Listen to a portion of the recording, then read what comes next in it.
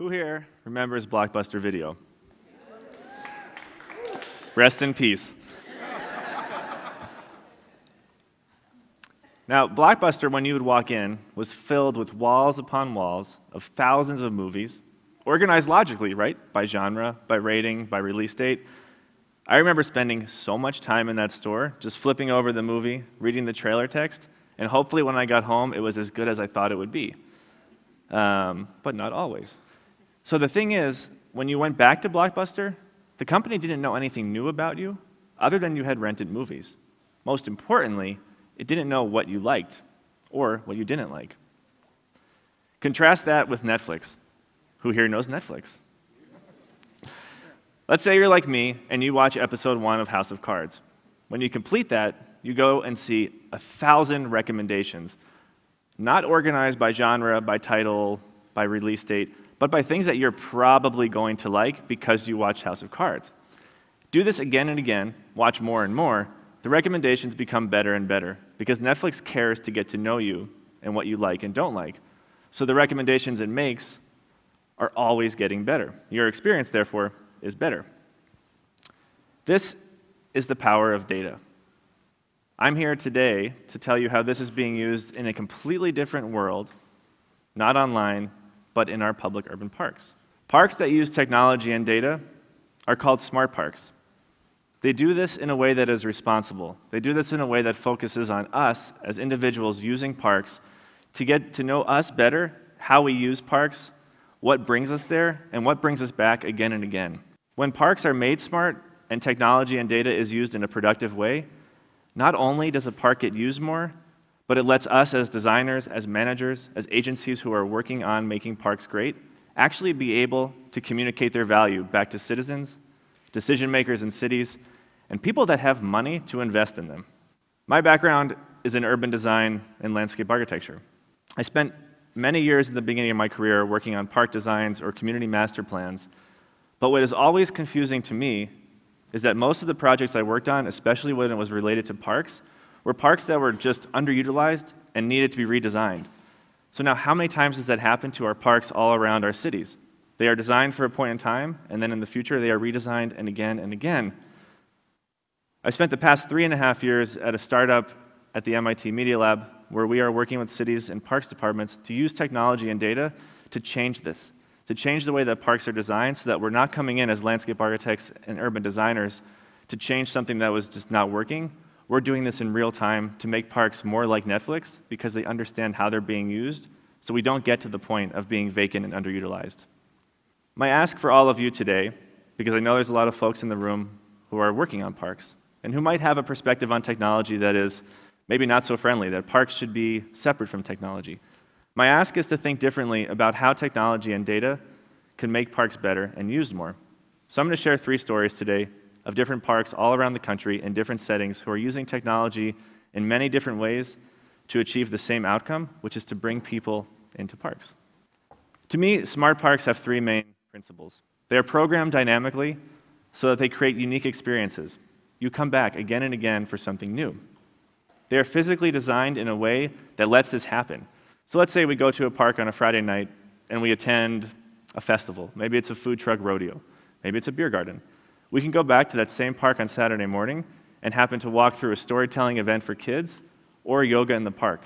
The key here is that space can accommodate both of those without any structural changes. Number three, these are all based on data.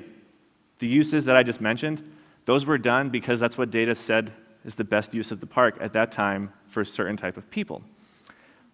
To do this, it requires moving away from an idea of designing parks statically, as I mentioned, my background, doing this so much in, in the past, to making them more dynamic and changing based on what people are using them for, and first of all, getting to know how they're being used to make them something that is constantly offering something for everyone.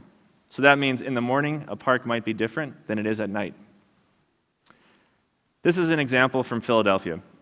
What we're looking at here is the Eakins Oval. In the back of the photo, you can see Center City, Philadelphia. And then behind where I'm standing, you would see the world famous Philly Art Museum where Rocky runs up the stairs in the movie. Most of the year, this is just a vacant parking lot. It's a pass through from Center City to the museum. But for a few months, the past five summers, it has transformed into an amazing, dynamic smart park. It does this by doing three main things it offers contemporary and relevant programming, it measures how people actually use that programming, how many are coming out for things like a children's storytelling event, how many are coming out for yoga.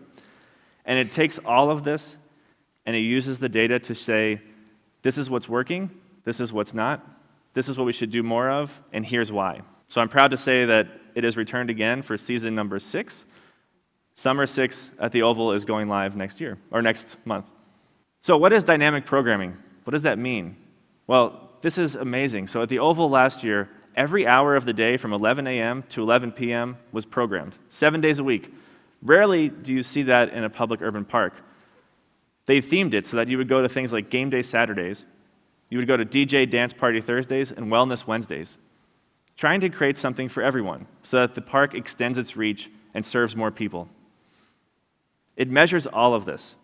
And now, when we think about technology, it doesn't have to be super sophisticated. It could be going out and counting by hand. It's about getting data. But it could also be things like our benches. So we have a sensor inside of here. They're located in different locations in the park that are most strategic, so at the main entry points or around the amenity areas.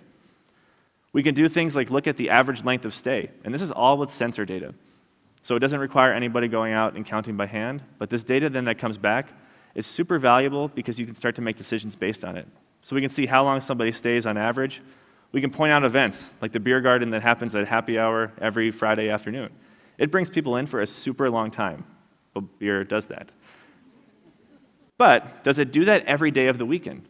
Well, you can look at some data and you can say, well, maybe not. So Friday, it brings a ton of people in and they stay for a long time. That's the pretty blue on this graph. When you look on Saturday and Sunday, less people come and they stay for less time. So, what this lets the team do is actually make decisions about is the beer garden the best use of that space? Could it be better if we paired it with something else? Are people just using different parts of the park because there's other programming there that they care more about than beer? Maybe, maybe not. But by having this data, we can actually test things and then measure their effectiveness in real time or near real time to ultimately create experiences that are lively, that are dynamic, that are bringing lots of different people together all in the same space. This is a smart park. In the county of Los Angeles, there is a huge problem, and that is that during the summer months, when schools are out and budget for school for programs for kids are being cut, crime rates are skyrocketing. And where does this happen? Where does this start? Largely in the city's parks.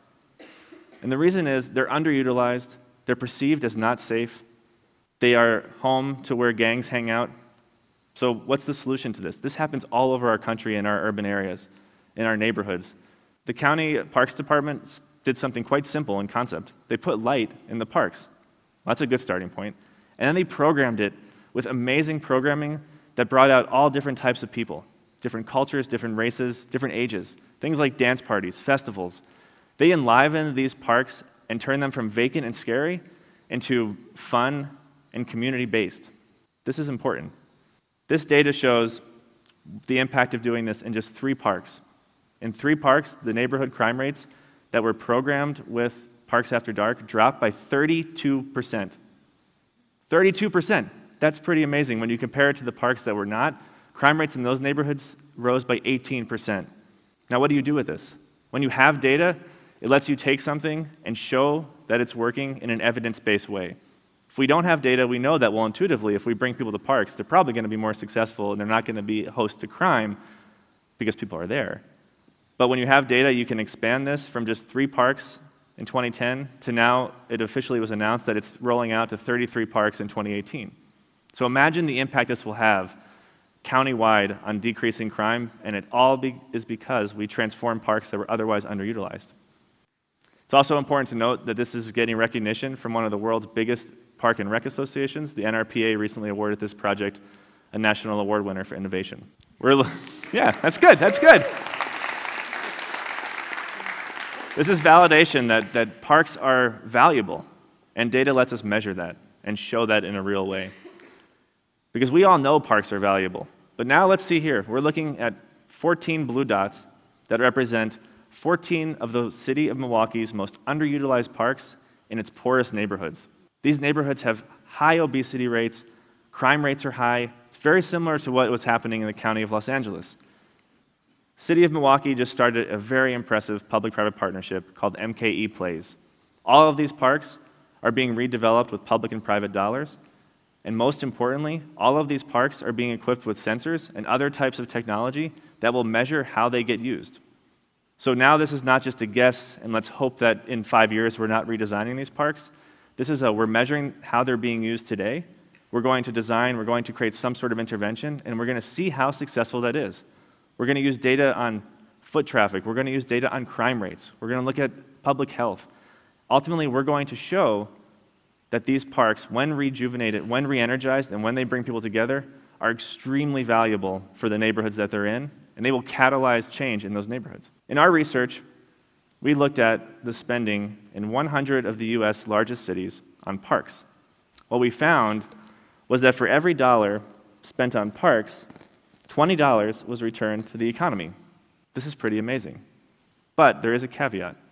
This doesn't happen in parks that we see in LA County that are vacant, that are underutilized.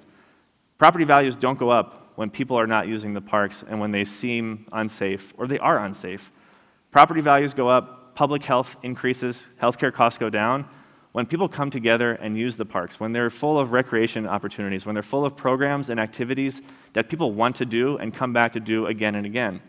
So I'll leave you with this.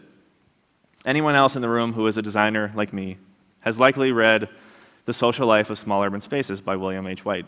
For you, those of you who have not, this is back in the 70s. He sat on rooftops in New York and he studied how people use public urban spaces. What he found, this is not super profound, what attracts people most, it would appear, is other people. So when I think about parks being like Netflix, where they start to care more about how they are getting used. They want to learn how they're being used so they can do things that are better and better and expose people to more activities that they otherwise wouldn't have known existed. Those parks are attracting people, and those people are attracting more people. So let's not be afraid of technology. Let's use these three stories for anyone in here who is in Parks and Rec, who cares about their city and neighborhood parks. When we go back to our agencies, to our cities and neighborhoods, these are three stories that I want you to take back that shows that technology and data, when used responsibly, brings people together in parks, and that is the main goal. Thank you.